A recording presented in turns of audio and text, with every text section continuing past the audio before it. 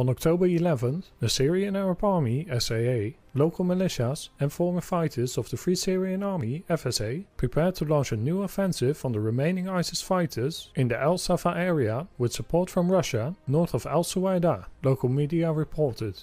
On October 12th and October 13th, pro-government sources reported that a large number of ISIS fighters had been killed. However, no notable gains were made by the SAA and its allies. The Russia-Turkish deconfliction agreement is facing difficulties with the withdrawal of Hayat Tahrir al-Sham from the demilitarized zone, according to local sources. Militants also violated the agreement on October 13th when they shelled the town of al-Bahsa and a base of the SAA in northwestern Hama.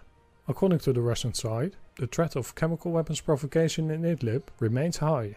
Russia's permanent representative to the Organization for the Prohibition of Chemical Weapons claimed that Moscow had obtained intelligence that militants are plotting chemical weapons provocations.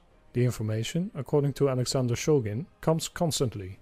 Turkey could also launch new operations in northern Syria, according to the Turkish President Erdogan. Erdogan renewed the threat to expand Turkish military operations into areas east of the Euphrates River held by the SDF. Ankara views Kurdish militias, which are the core of the SDF, as a terrorist group.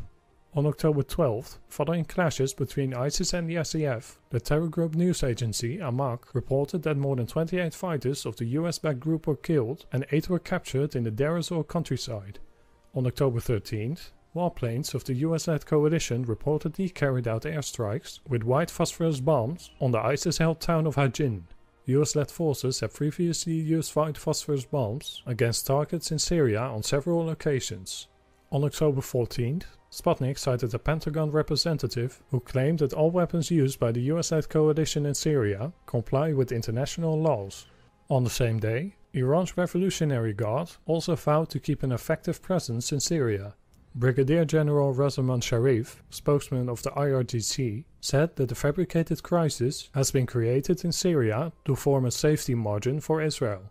He also said that Iran's support to Syria adheres to all international norms and is by request of Damascus. The US has said numerous times that its forces will remain in Syria until Iran leaves. The Trump administration and its key ally, Israel, see Syria, as well as most of the Middle East, as a battleground to fight Iranian influence.